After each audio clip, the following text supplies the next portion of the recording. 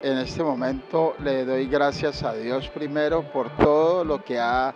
hecho en mí para poder seguir y colaborar, seguir colaborando con todo el proceso donde siempre he querido estar, un capellán de paz, de poder ayudar y coadyuvar a todas las personas, tanto en, en la defensa de los derechos humanos como también en la defensa de sus